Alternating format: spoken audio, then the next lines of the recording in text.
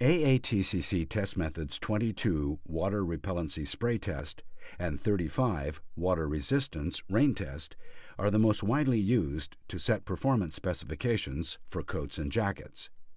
ASTM D7017 Standard Performance for Rainwear and All-Purpose Water Repellent Coat Fabrics cites only these two methods. The ASTM D7017 cites the following minimum performance levels for rainwear. The TM22 water repellency grade for the original is 90. After five launderings or three dry cleanings, the minimum acceptable grade is 70. The TM35 rain test shows maximum weight increase.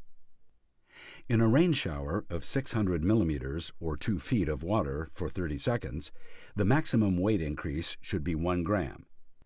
In rain of 600 millimeters or 2 feet of water for 2 minutes, the maximum weight increase is 1 gram.